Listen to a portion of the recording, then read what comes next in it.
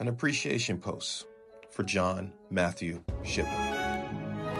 Most of you already know the story of Mr. John Shippen, but for those who don't, Mr. Shippen is the first American born golf professional.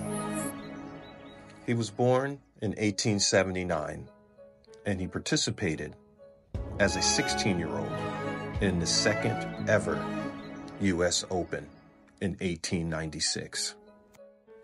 Think about what you were doing at 16 years old and put that in perspective.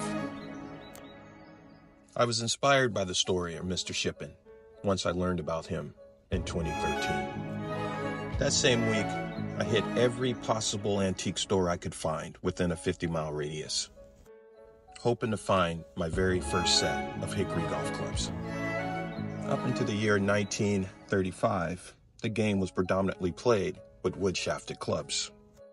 I had to know, I had to know what it felt like to play with hickory golf clubs. To play the way young Shippen did. You see, John Matthew Shippen was an African American. He was black.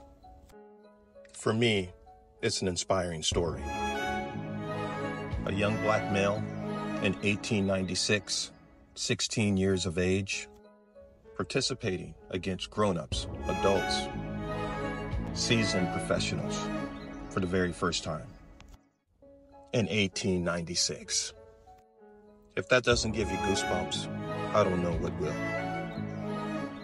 Not only is his story black history, it's American history, it's golf history.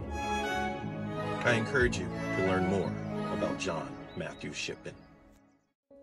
It just might inspire you to pick up a set of hickory clubs. Play on, player.